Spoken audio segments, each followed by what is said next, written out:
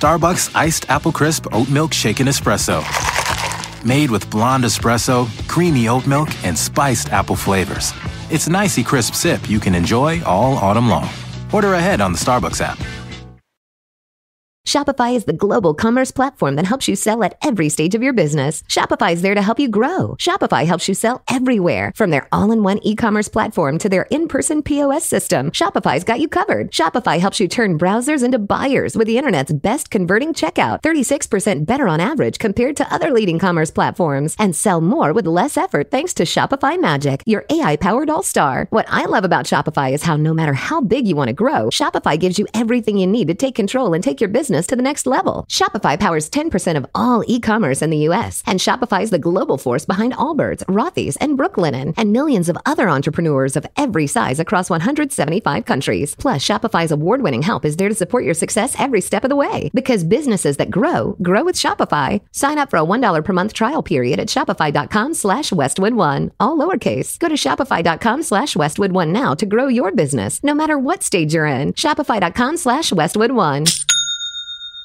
Passion, drive, and patience. The formula for winning championships is also what keeps your ride or die alive. eBay Motors has everything you need to maintain your vehicle and level it up to peak performance. Superchargers, roof racks, exhaust kits, LED headlights, and more. Whether you're into speed, power, or style, eBay Motors has you covered. With over 122 million parts for your number one ride or die, you'll always find exactly what you're looking for. And with eBay Guaranteed Fit, your part is guaranteed to fit your ride every time or your money back. Because with eBay Motors, you're burning rubber, not cash.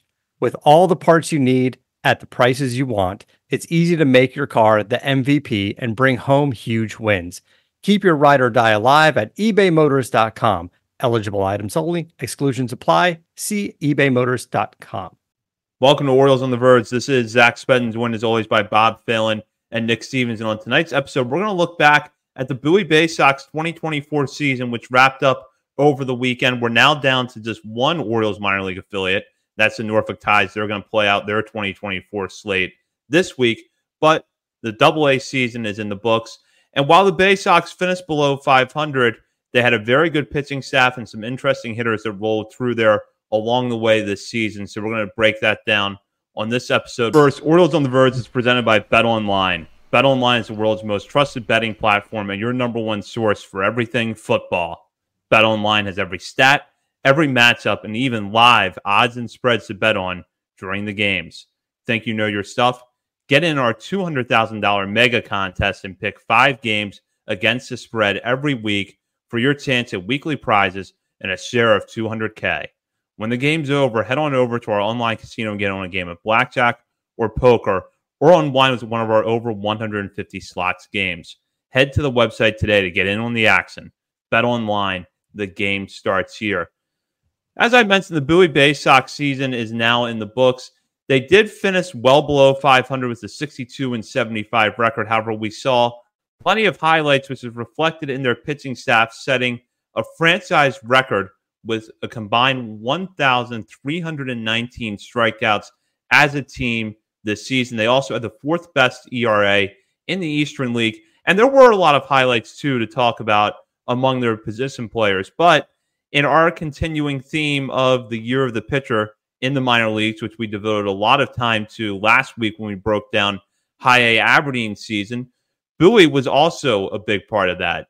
Whether it was players that were there for most of the year or later additions like Pat Reilly, plenty of good pitchers took the mound with the Baysox this year. And we'll start with that part of the roster. Nick, I think we knew going into this year that the Baysox on paper had a pretty good pitching staff. Then you add in someone like Reilly or someone who got there even earlier, like Cam Weston, and it was a pretty good group.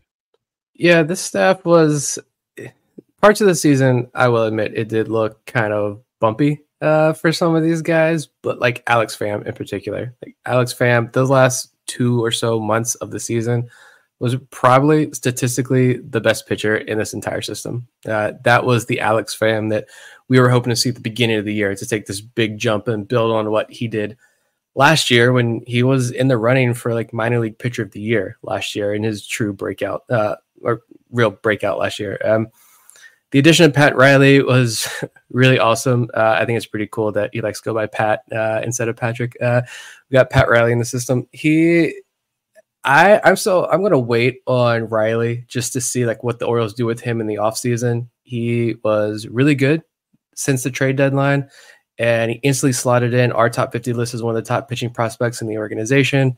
Shout out to Billy Cook for doing fantastic things with the Pirates in the major leagues right now. Uh, seen a lot of Billy Cook chatter online, and it's awesome to see. But we traded a lot of pitching prospects at the trade deadline, and to be able to replenish it with Pat Reilly was pretty awesome. But I want to see what the Orioles do with him this all season and see what he looks like uh, at the start of next year to get a, a much better pitcher. But yeah, Cameron Weston over and over again, like we talk about. No one else is talking about this kid. Uh, and he finally put together his first healthy season as a pro. And it was one of the more dominant performances we saw in in this entire farm system. Um, I mean, there are a lot of guys. Unfortunately, you know, Zach Peek went down to injury. We didn't get to see Jean Pinto this year because he had Tommy John surgery. Uh, you know, but Kyle Brnovich was up and down with the injuries. He comes back and he went had like two or three IL stints. We don't know what for. Um, and Trace Bright, I feel like Bright I don't want to say Bright was the biggest disappointment for me this year. He just he didn't take the next step. When I thought there were a lot of signs coming into this year that he was going to take that next step, he didn't. And then those last two months or so of the year, he I think he regressed with the control and the walks again. But overall, yeah, a lot of positive takeaways from from this pitching stuff. Yeah, Bright, 0 and 11. You can't even win a baseball game. Like, get rid of him. No, yeah, it was a little disappointing just because even the data from his spring training appearance was like kind of like whoa, like I see why they like him so much. So hopefully, you know, that's still in there. Hopefully, they, he can just learn from this and take it to the to the next level next year, whether it's repeating Double A before going to Triple A or starting in Norfolk. We'll see. Pat Reilly, yeah, um, he had some fantastic outings. What was it uh, last week? His I think he had two starts. First one was like four innings, eight strikeouts, no walks. Um, one of those times. So Alex Pham started off really poorly, but was the Alex Pham we knew and fell in love with last year for pretty much the entire second half of the season. That was awesome to see him come back. Peter Van Loon, last chance at uh, becoming something in the system. It seems like, and he took advantage of that at the at the second half of the year. Yeah, Cameron Weston. I mean, a whip barely over one, a strikeout to walk rate of more than four to one, 92 innings at Double A was awesome to see. A low to mid threes ERA.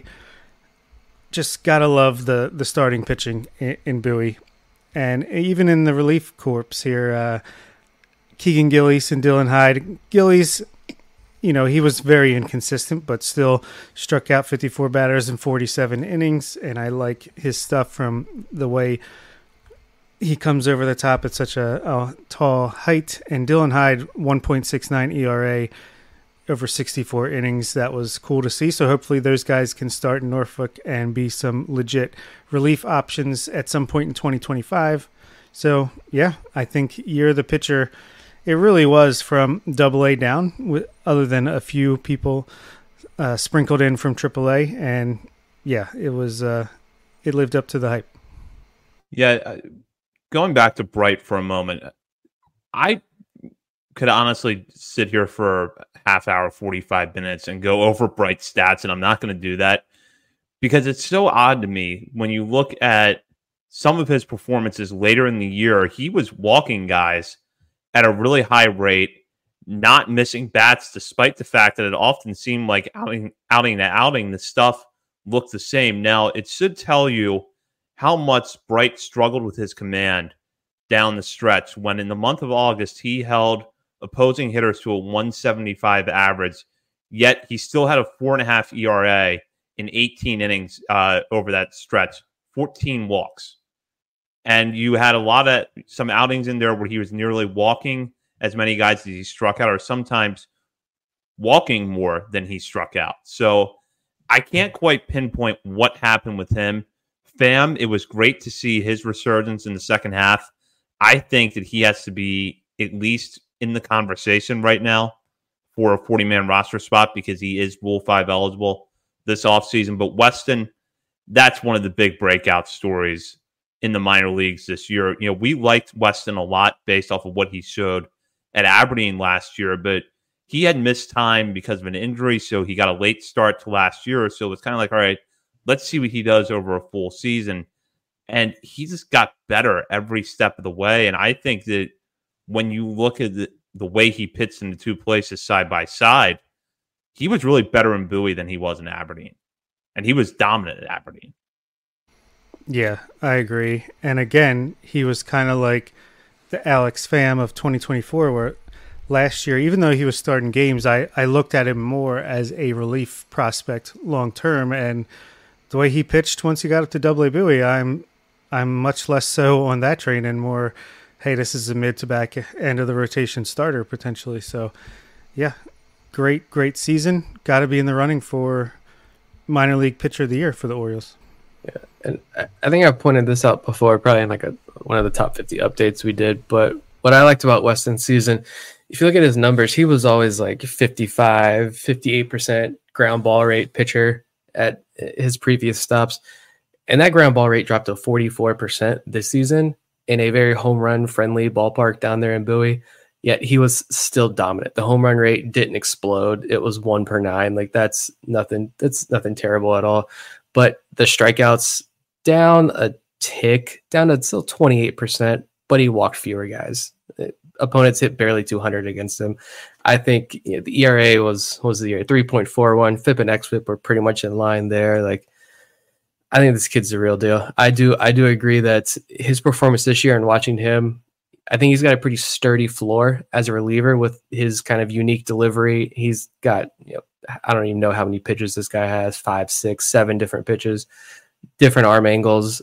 I think he's got that sturdy floor as a reliever. But yeah, I'm viewing Cameron Weston as this guy should be in Norfolk's rotation to start uh, 2025 and be in contention at some point, maybe at the end of next year. Like if if you need a bullpen arm, he could be the Brandon Young next year that we're talking about. Does he get a shot? Um, great year for Weston. And Gillies, yeah, talk about him real quick, just because the numbers weren't good. I think he started out the year pretty hot and then went on kind of a cold stretch there. Obviously, a reliever. You have two or three bad outings, it's really going to skew your final numbers. But he's also older. He's about to turn 27 years old, but this guy is six eight with like a three pitch mix. Baseball America having him ranked as the 13th ranked prospect is a little crazy, I think, in my opinion. But I still think Gillies is a pretty strong uh, relief only prospect in the system. He's not going to start games. He's, he's they're not going to stretch him out. That's done.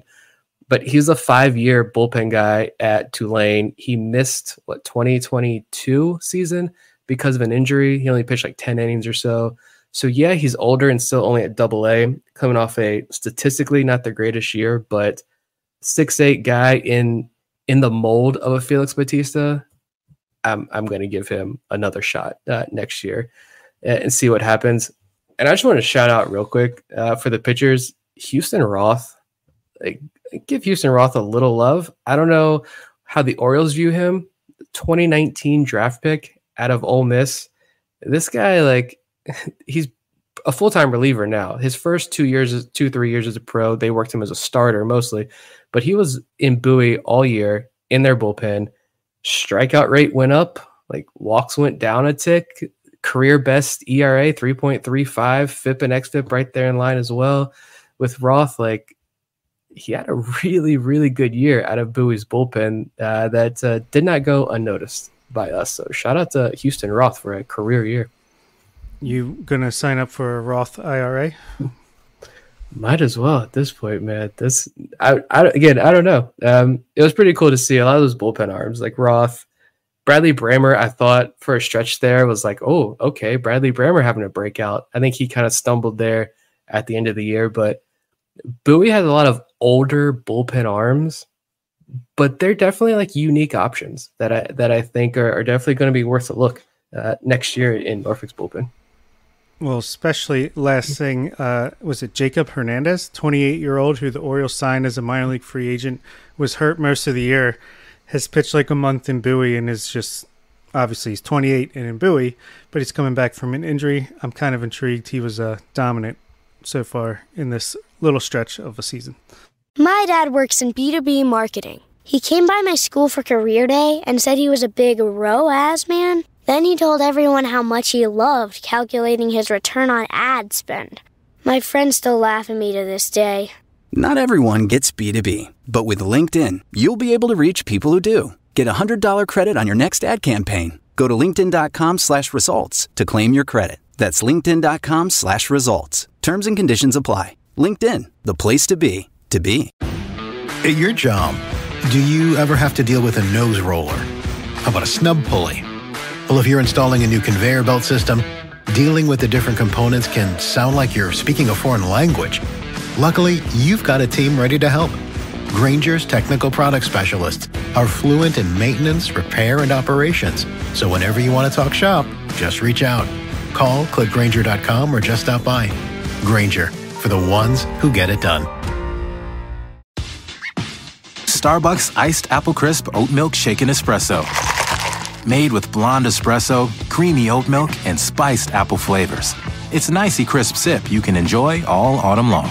Order ahead on the Starbucks app.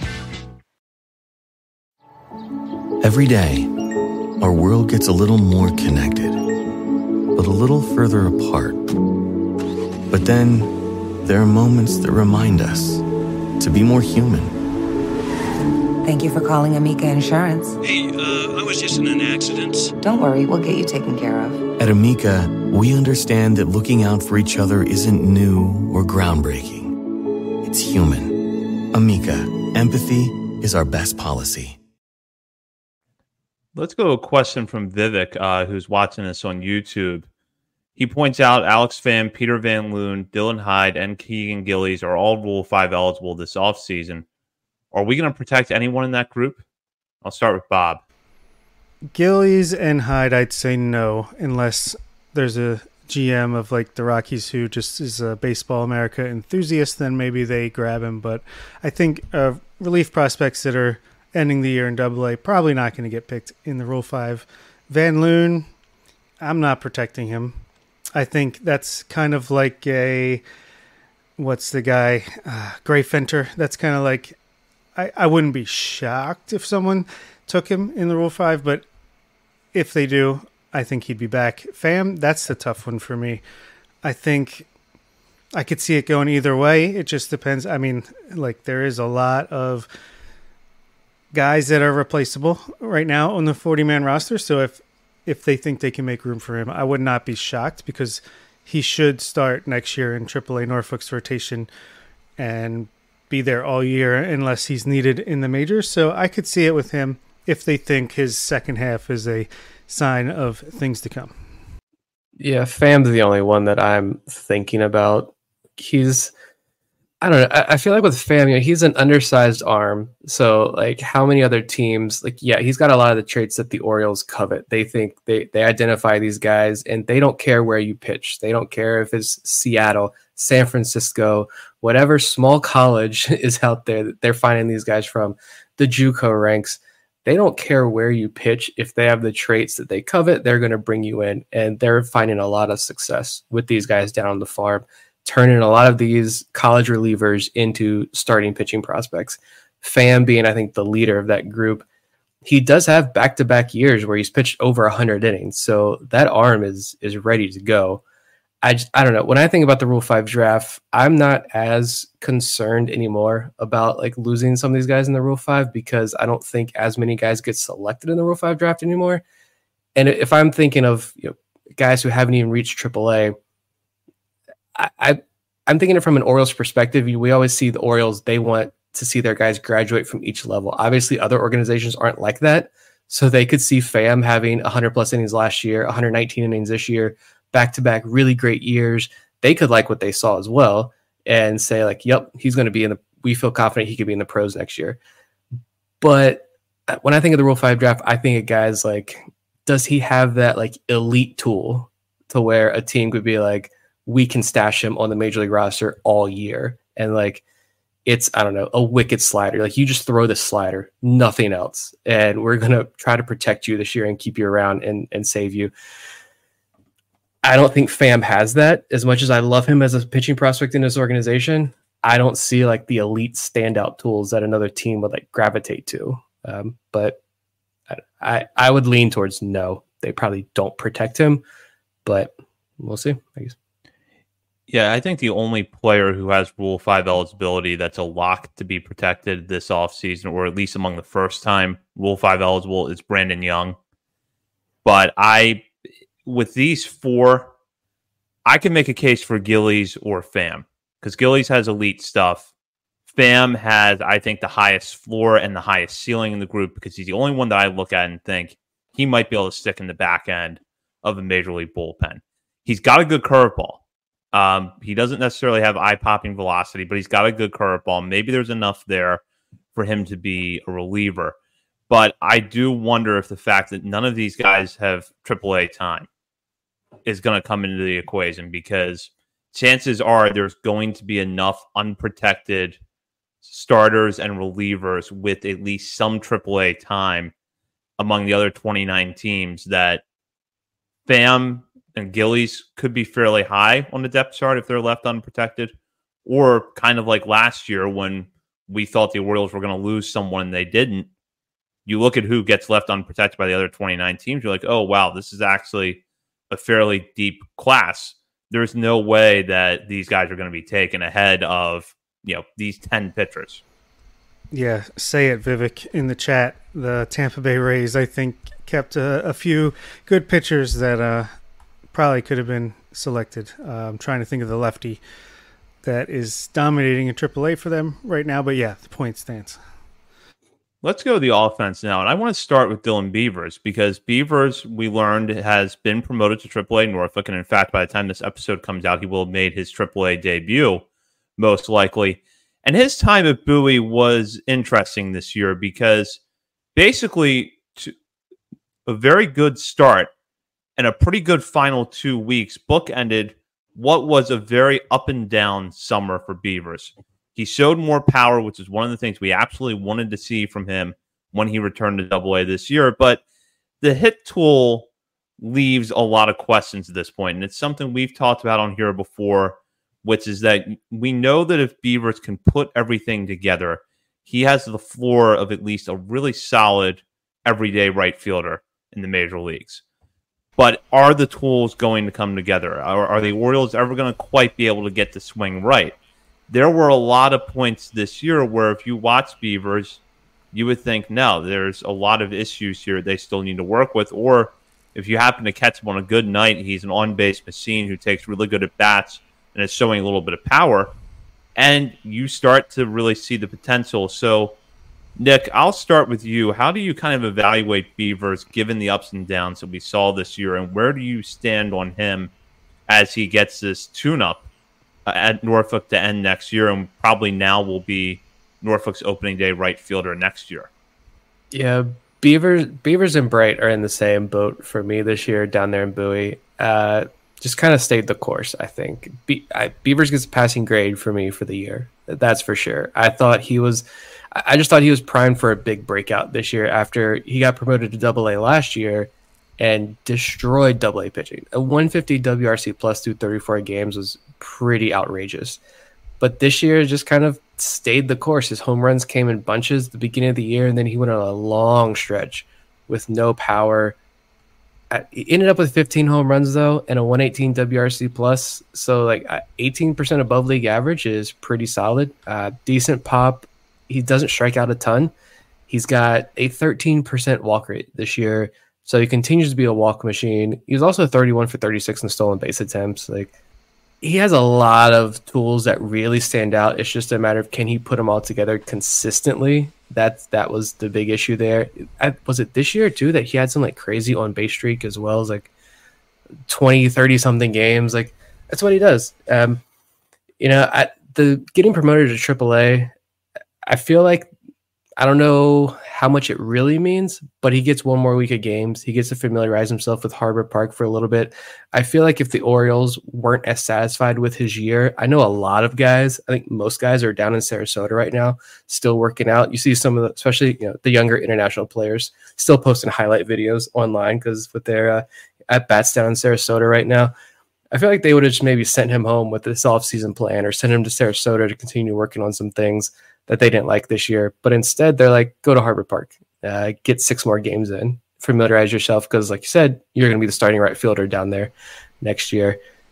I don't. I just he stayed steady for me all year. I didn't drop him in my rankings, maybe one or two spots, but that's with the addition of draft picks and you know trades. I didn't want to push him up. He just kind of stayed the course this year. He got off to a great start. Then he had a long slump or just middling. He was mid for a while, as the kids say. But the last month or so, last 25 games of the year from August 14th until Sunday, he actually had a 152 WRC plus, batted 292 with an 885 OPS, had the same walk rate, 13.3%. Strikeout rate was actually cut down by like 3 or 4% from his season average at 19%. So at least getting the promotion on a high note. And yeah, I think just the consistency. That's what it is. Like he he shows flashes and he's always going to get on base. He's always going to steal some bases over 30 stolen bases. I think that's like an underrated part of his game is his speed. He's starting to show the power a little bit more in games at least towards the end of the year. So I think Kyle Tucker light might be overselling it a little bit, but the upside is there for sure. Um, between him and Jud Fabian, you would hope at least one of those guys will will click next year and get a shot at some point in the major leagues. I don't know that any prospect made more of a statement at Bowie this year, at least on the position player side, than Samuel Basallo. Expectations for him coming into this season were very, very high after his first full year of pro ball in 2023 in which he played at three different levels, ending at double A. He had a week long cameo there at the end of the season, just like the one Beavers is about to get at Norfolk. And because of an injury, Basallo did get off to a little bit of a slow start this year at the plate. But when he caught fire, he did so in a big way. In 106 games with the Baysox before his promotion to AAA, he hit 289 with an 820 OPS, belting 16 home runs he's pretty much now a consensus top 10, top 15 prospect in the game. I think that all things considered, this year has gone about as well for him as you could have hoped. And a big part of that was his success at Bowie. So we'll probably talk a little bit more about Basallo when we recap Norfolk season, but I think now is a good time to discuss him because Bowie is where he spent the most time this year and really solidified his status as a prospect Nick, I'll start with you. What stood out about Basallo's performance during his time in Double A? Everything. Like we said, he's reaching that point of Gunnar and Jackson Holliday where it's like, what else can we say about this guy? At least with Basallo, you know, you got the defensive questions. Right? It's is he going to stick behind the plate?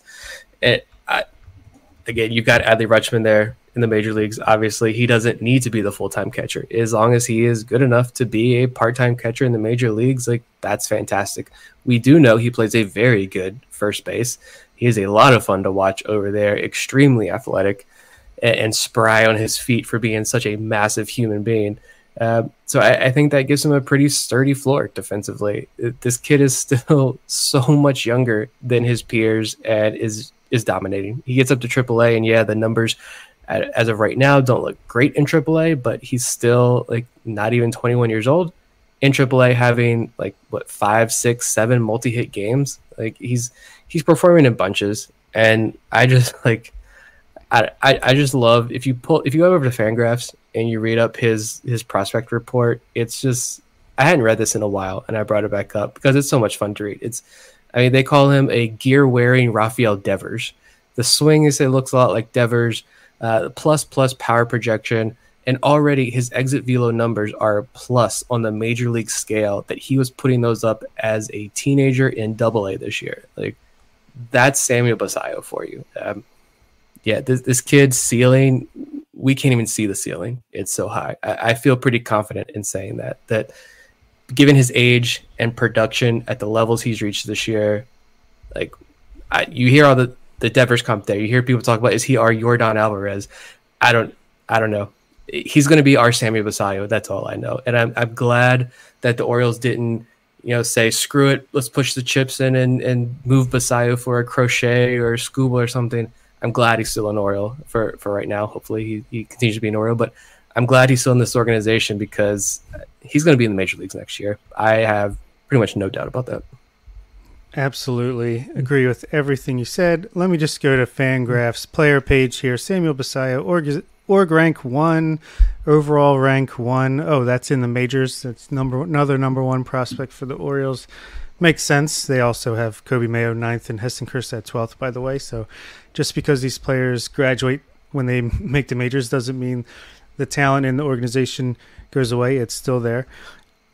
Yeah, I don't think, you know, some people might nitpick Basallo's 2024 season. I will not be one of them. If he was on a normal player progression, he would be just dominating high A again this year, maybe getting to double A, but no, he's pushed all the way to triple A now.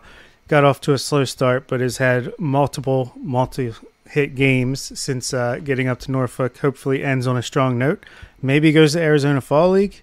We'll see. That would that would be exciting. But uh, yeah, I just think Samuel Basallo. He's the next. It's kind of like he might become underrated just because it's like the Orioles really they have another one. And I don't know, maybe he won't get hyped up like some of the other guys before him have, but I'm no less excited about Samuel Basallo than I was for Jackson Holliday and Gunnar Henderson before him. I think he's of that caliber of prospect, and Coby Mayo and Adley Rutschman. So the Orioles might be struggling right now, but the future is still very, very bright. I know we've talked about this before, especially at the beginning of the year, probably some point during during the season. But now, given where he's ending the year, new ownership in place, everything else do you guys envision a a a chance that Basallo gets one of those, you know, extensions that we were talking about earlier in the year? Could he be a guy this offseason? The Orioles extend. Do you guys feel more or less uh, confident in that potentially happening? I'm extremely confident. It might not happen this offseason, might not happen going into this year, but I would be absolutely shocked if Samuel Basallo wasn't an Oriole into his 30s, just because I think – it would be such a huge statement to say we brought in the international scouting department. We found Samuel Basallo. He flew through our system. He's the first international star of the Orioles, and boom, he's here for the bulk of his career. I think that would just be really important to sell the future of the international program, and just yeah, I think it's it's a no brainer for me. And stole him from the Yankees. I do think that it could happen. I agree with Bob though that I don't think it happens this offseason only because I think that if you see Basallo in 2025, it's going to be very late in the year because there are still questions about his defense. And for me, it's a little bit hard to pick that part of his game apart because we don't have a lot of the advanced data publicly available. And not to mention with catcher defense, sometimes it's a little hard to evaluate because there's so much emphasis on pitch framing when by the time Basallo gets to the major leagues, pitch framing might not matter anymore because the automated automated ball strike system. So you've got to factor that in too when you're looking at a player that's this young and probably still two years away from being at least a part-time catcher in the major leagues. But yes, I do think that he's a perfect candidate for a you know eight year extension before he even plays a game in the majors or even after just a couple of weeks in the majors because of all the points Bob touched on, the fact that that left-handed power is going to play at the major league level. There's no question about that. Shopify is the global commerce platform that helps you sell at every stage of your business. Shopify is there to help you grow. Shopify helps you sell everywhere, from their all-in-one e-commerce platform to their in-person POS system. Shopify's got you covered. Shopify helps you turn browsers into buyers with the internet's best converting checkout, 36% better on average compared to other leading commerce platforms, and sell more with less effort thanks to Shopify Magic, your AI-powered all-star. What I love about Shopify is how no matter how big you want to grow, Shopify gives you everything you need to take control and take your business business to the next level. Shopify powers 10% of all e-commerce in the US, and Shopify is the global force behind Allbirds, Rothy's, and Brooklinen, and millions of other entrepreneurs of every size across 175 countries. Plus, Shopify's award-winning help is there to support your success every step of the way. Because businesses that grow, grow with Shopify. Sign up for a $1 per month trial period at shopify.com slash westwood1, all lowercase. Go to shopify.com slash westwood1 now to grow your business, no matter what stage you're in. Shopify.com slash westwood1. My dad works in B2B marketing. He came by my school for career day and said he was a big ROAS man. Then he told everyone how much he loved calculating his return on ad spend. My friends still laugh at me to this day. Not everyone gets B2B, but with LinkedIn, you'll be able to reach people who do. Get a $100 credit on your next ad campaign. Go to linkedin.com slash results to claim your credit. That's linkedin.com slash results. Terms and conditions apply. LinkedIn, the place to be, to be. Hear that? Pumpkin. That's fall calling. And the pumpkin spice latte is back at Starbucks. From that first sweater to late autumn weather, it's all of fall in just one sip. Order ahead on the Starbucks app. At Amica Insurance, we know it's more than just a car or a house. It's the four wheels that get you where you're going and the four walls that welcome you home. When you combine auto and home insurance with Amica, we'll help protect it all. And the more you cover, the more you can save. Amica, empathy is our best policy.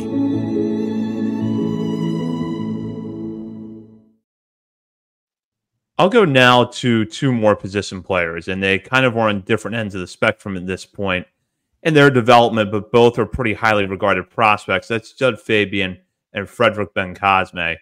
Fabian went back to Bowie after a long stint there in 2023, where the swing and miss issues that have really surrounded him since his days at Florida were on full display, even if he was showing some power and drawing a lot of walks. And while you might look at Fabian and see that he hit only hit 233 during his time with the Baysox, I don't think that tells the whole story, given that the strikeouts did go down and the power actually improved a little bit. He got a promotion to AAA Norfolk around the same time as Basallo, so he's getting a cameo there to end the year. Bencosme, meanwhile, got off to a scorching start at the plate this year before cooling off a little bit over the summer and then picking up the production again late in the year. It was very similar to Dylan Beavers. In Bencosme's case, though, he did this as a 21 year old who had not played above A ball prior to this season after spending all of 2023 at Aberdeen. And he's the guy that the Orioles have moved aggressively. He went to Delmarva in 2022 after just two games in the FCL, ended that season at, at Aberdeen, played there all of last year as a 20 year old, and then had all of 2024 in Bowie as a 21 year old. So let's start with Fabian in this group. How did you guys feel about his development over the course of this year with Bowie? I felt better. Uh, I mean, the power was definitely a big thing for me. I I think he looked more confident. Uh, the type of power hitter that, of course, the wall is going to have some sort of impact, but that's a guy that if he's in the major league with the Orioles, uh, that's the kind of right-handed right-handed power you want in the system. I know, you know, Coby Mayo, that right-handed power is like the what we all like. That that's the gold standard for right-handed power in the organization. But don't sleep on Jud Fabian. I, I feel like Fabian's, you know, the power gets overlooked. I feel like the defense gets overlooked because everybody immediately just points to Enrique Bradfield Jr. Meanwhile, Fabian is right there in, in terms of the power. He's right there in terms of the fielding the speed as well. He doesn't have the extreme stolen base totals, but he's an athlete. I almost feel like it's it's in that Austin Hays type mold with his like athleticism and his grit out there. Um, you know, the strikeout rate was better when it was when he was in Bowie this year. The walk rate was down a lot, but home run numbers were better. The strikeout numbers were better. He was still at a 117 WRC plus in Bowie this year. AAA, it is what it is. 100 plate appearances, and he's he's back to striking out 42% of the time. And only at a 34 WRC plus right now, but I, I'm gonna say I don't care, but he's he's taking his lumps now. I'm excited to see what Fabian can do uh, next year if he can just be a league average bat with that power, the speed, that defense, and the strikeout rate isn't insane. Like I, I think this is a guy who's going to make a pretty big impact at the major league level, and, and I feel like his performance this year in Double A specifically, I feel a lot better this year than I did last year about him. Yeah, I agree. I think I've said it before and I stand by it. I think he's going to be the perfect fourth outfielder while he's in his optionable, controllable years, cheap years for the Orioles. And he's got the upside to be more than that. So you start there and, you know, the Ryan, he's going to be Ryan McKenna if Ryan McKenna had upside, basically. Um, yeah, so I'm pretty happy with Fabian's year. Yeah, we I figured the strikeouts were going to go back up quite a bit, moving up to AAA with those refined pitchers. who can exploit his weaknesses, but we saw him cut his strikeout rate by looks like what eight or nine percent from double A from year to year. If he could do something similar, as long as he's around 30% strikeout rate, I think he'll be more than okay. So, yeah, I, I think Fabian, bare minimum, is going to be a great fourth outfielder. And like I said, if he figures out a thing or two about swinging and, and making more contact, not missing as much, then I think he could be a regular uh, at the major league level. Let's talk about Bencosme for a moment. And one thing that I neglected to mention earlier was the defensive angle of this because Bencosme had a career high for the number of games he played at shortstop this season 79. That's up from 58 a year ago at Aberdeen. And one of the things we've always kind of questioned with Bencosme is where is he going to stick? We know it's going to be somewhere in the infield, but is it going to be second? Is it going to be third? Is it going to be short? And there's been some doubts about the shortstop defense, and I've raised some of them over the course of this year. But I think the fact the Orioles gave him a lot of exposure there means that they're at least not giving up on the idea. But taking Bencosme on the whole, do you guys feel like he stayed the course this year or that his prospect stock has actually improved? I think it's improved a little bit. If you look at his year to year, look, again, 21 years old this entire year to be at double A, that's that's pretty much he's being pushed and he's holding his own. Like last year in high A, he was 20. He had an 88 WRC plus. This year, 21 in double A, he has a 94 WRC plus. So still below average. And it's actually funny. He, in 2023 and 2024, he had 18 doubles, three triples, 28 stolen bases, identical both years. But this year, he had eight home runs compared to just two last year. So he's tapping into the the natural power a little bit more.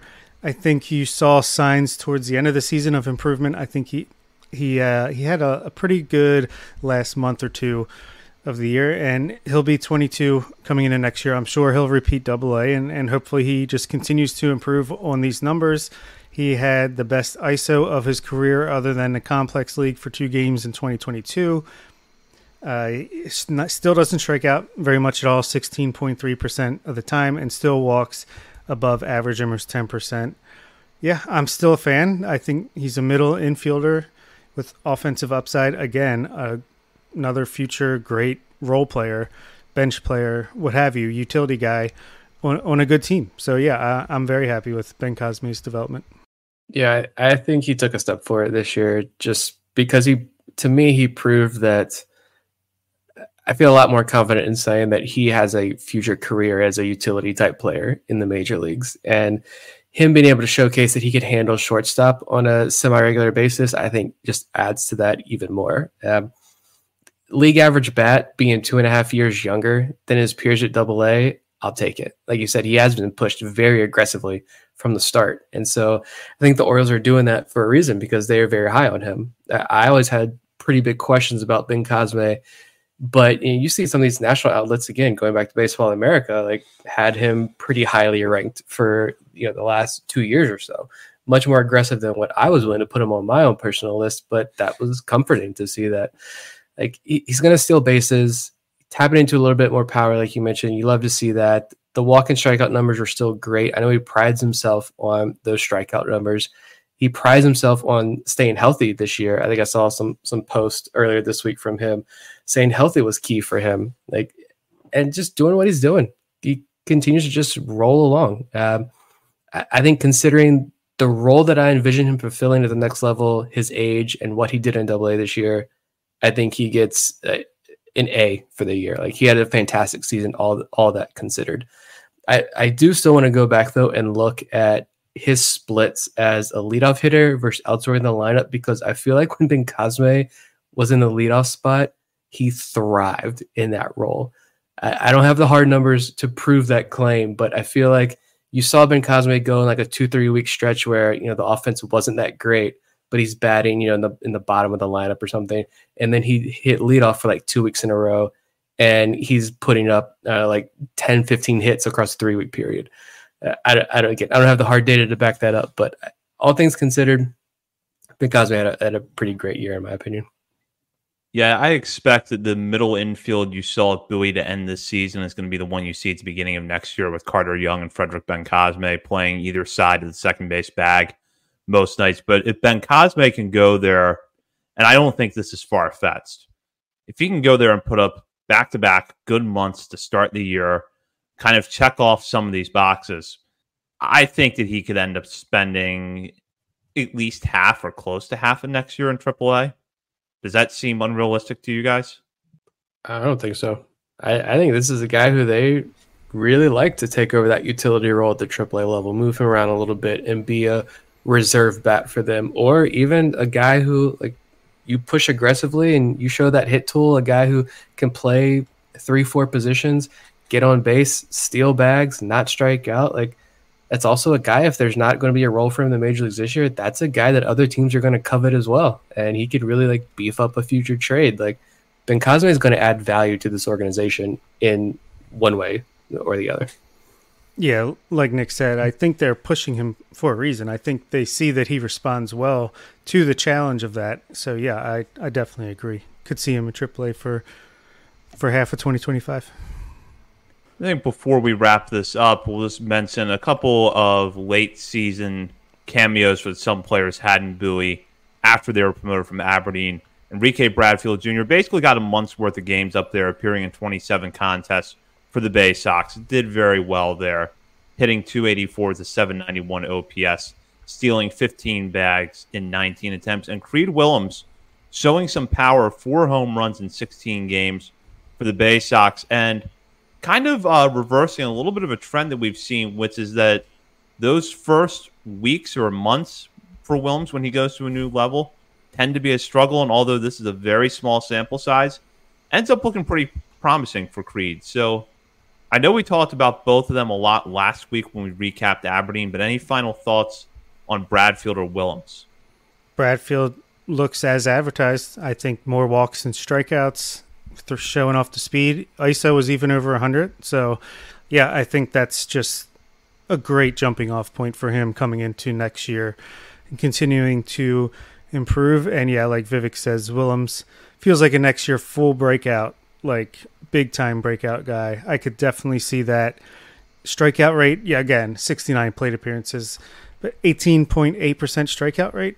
And that's pretty good for a, power hitter. He only walked like three percent of the time, but again, small sample size. We know he he walks more than that. He'll be at least league average when it comes to that department. A 111 WRC plus. So yeah, gotta love it. Uh, great jumping off point for him as well. And even I gotta say, Douglas Hodo really ended his double A 10 year strong, only 49 plate appearances, but a 121 WRC plus, 779 OPS, six doubles, and a home run in only 49 plate appearances, five stolen bases as well. So we'll continue to shout him out. Uh, yeah, I think the last week or two was really good for these guys. Yeah, I was going to bring up Doug Hodo, just like six round pick out of Texas in 2022, same draft with his, his teammate Silas Ardoin there. The glove was highlighted coming out of the draft, but this guy had a 131 WRC plus in high A this year with a 19% walk rate and 42 stolen bases. Those are absurd numbers, and he's hitting the ball very well in Double A to close out the year. But yeah, Creed, like I I said the other week, uh, the biggest thing that stood out to me about Creed Willems this year in high A was the strikeout rate going from 27.7% down to 20.9%. And that's even lower in a very small sample size this year. In double A already, love to see that. And with Enrique Bradfield Jr., I I still have a lot of questions. He still has a lot to answer. He still has a long way to go. But I had so many more questions coming into this year. And in 27 games, 120 plate appearances, so small sample size, but decent amount there. He is at he has a 133 WRC plus with Bowie, more walks than strikeouts, and a 287 average. Like I did not expect Enrique Bradfield to put up those kind of numbers in Double A to close out the year.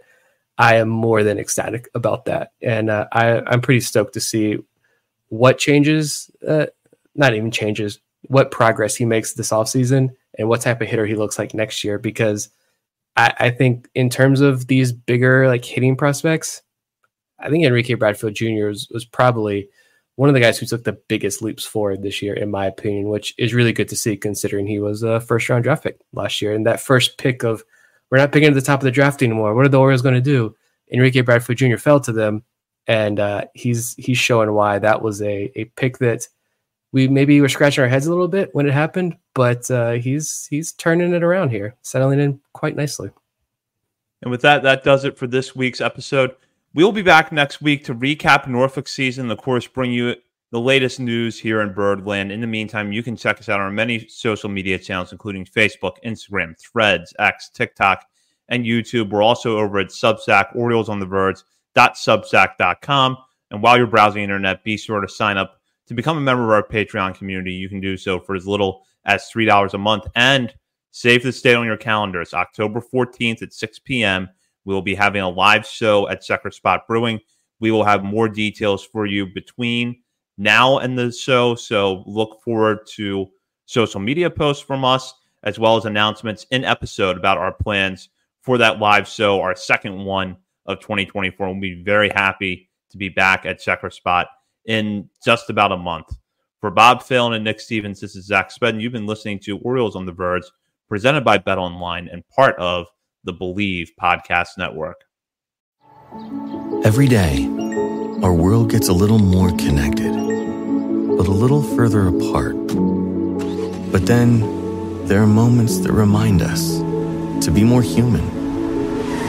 Thank you for calling Amica Insurance. Hey, uh, I was just in an accident. Don't worry, we'll get you taken care of. At Amica, we understand that looking out for each other isn't new or groundbreaking. It's human.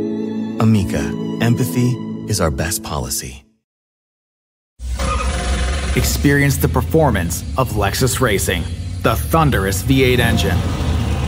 The black and day-glow yellow Lexus RCF GT3, a blur of speed and adrenaline.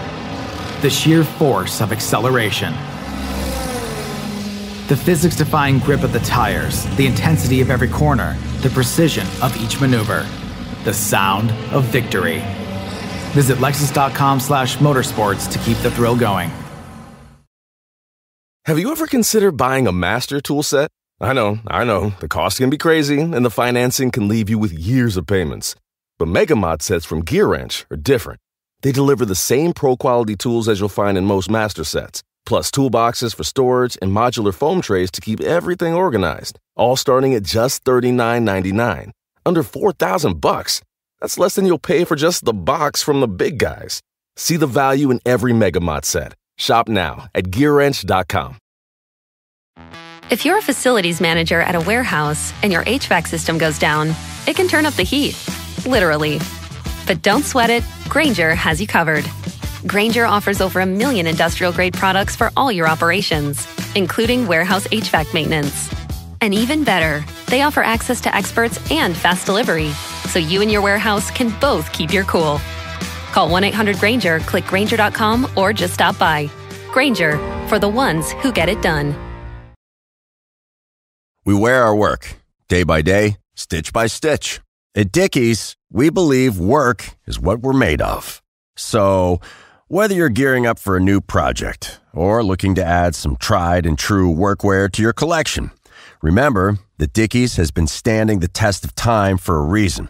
Their workwear isn't just about looking good, it's about performing under pressure and lasting through the toughest jobs. Head over to dickies.com and use the promo code WORKWEAR20 at checkout to save 20% on your purchase. It's the perfect time to experience the quality and reliability that has made Dickies a trusted name for over a century.